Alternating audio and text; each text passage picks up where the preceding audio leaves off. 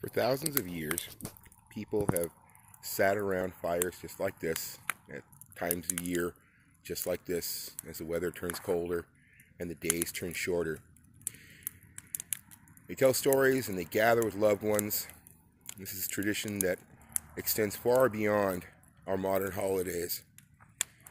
Today, we're going to talk a little about kind of the foundation for a lot of those holidays the winter solstice. Hello, I'm A.G. Vasquez, and this is Maps and Legends. Today I'm here at Casa de Culturas, my home in Joshua Tree, and uh, uh, I'm going to talk a little bit today about the uh, um, winter solstice. Uh, today is uh, December 21st, uh, and the shortest day of, of the of the solar year, the calendar year. Uh, sun's going to be going down pretty soon. Now we've got it's pretty overcast today, so I'm going to go out here. You can see the uh, Copper Mountain area, the dry lake out here behind my house. But we're not going to see much of the sky, but we are, you know, getting a little overcast.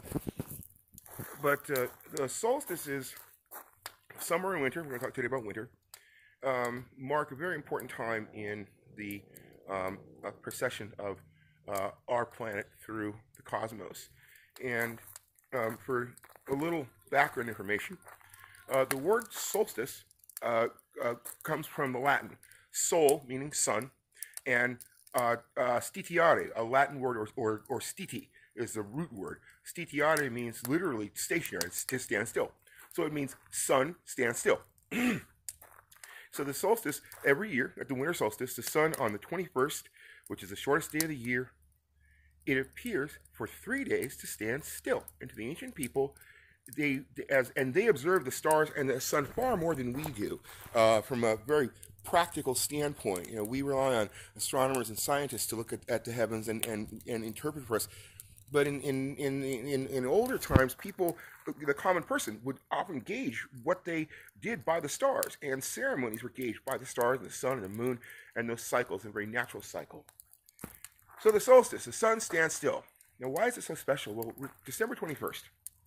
And uh, for those of you of uh, uh, the Judeo-Christian faiths, um, uh, Hanukkah, Christmas, these are the times of year where we have the, these holidays where we celebrate. It, it's the, the sun goes darker, and we celebrate by lighting up our world. And we have candles, candles and trees, and all these things to, to brighten up our world. And we do this because, again, when in the ancient times, people would see the sun, it would get darker and darker. And they would they would pray and they, and they would send up thoughts up to the heavens, up to the Creator. As the sun stood still, you know, people say, "Well, was it was it was it a superstition that that that, that people thought, oh, it's, the sun's not going to ever move again and it's going to keep getting dark." No, they were paying honor to this cycle that went on over and over throughout the years. Now, when we look in the sky, remember there's a uh, there, and there's factual things behind pretty much all of our our cultural myths and and our cultural stories, particularly if you're of the Christian faith, um, uh, of uh, the birth of, of, Christ and the three wise men in particular. So that has its basis in the stars. Um, the during the solstice, the three wise men, which are the three stars in the belt of Orion, point to the to the star Sirius, uh, otherwise known as the dog star, and and Sirius, like Sirius Radio, um, the, uh, uh, was during the uh, ancient times uh, it is believed to have been the Star of Bethlehem.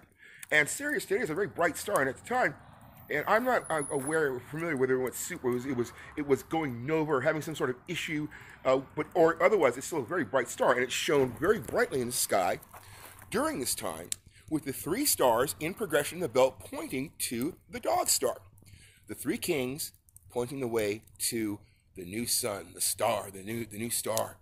And so, you know, for those of you, the, the, the story of uh, uh, uh, uh Christ and and and and uh, the three wise kings is a, a beautiful story.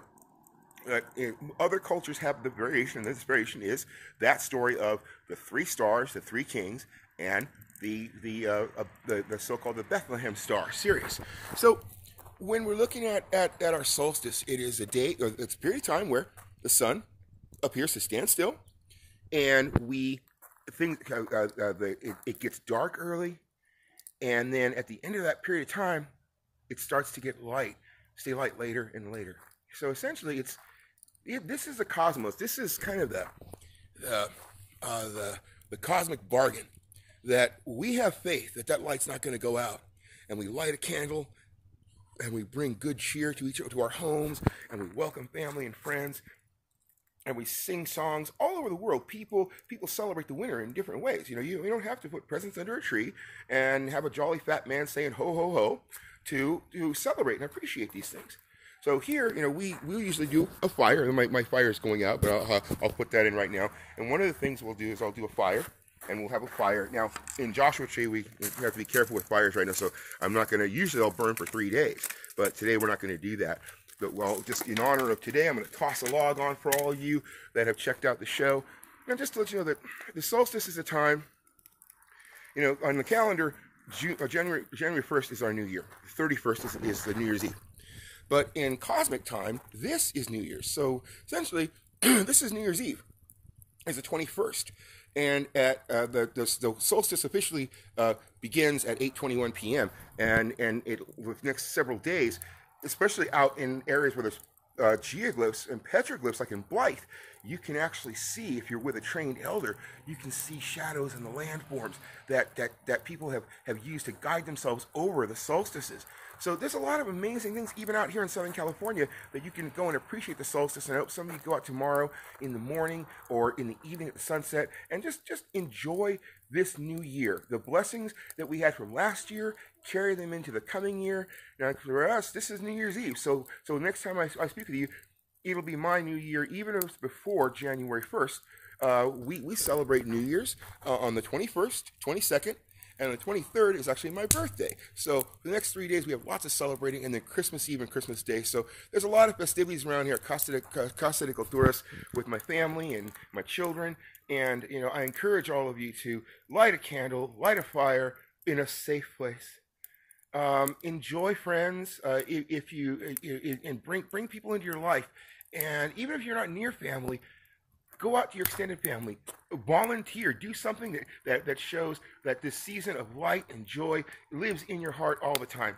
And that the solstice is a time to relax, reflect, consider where we've been and where we're going to go for the next year. For it's been a wonderful year, and I offer you many, many blessings to you and all of your families. I'm A.G. Vasquez.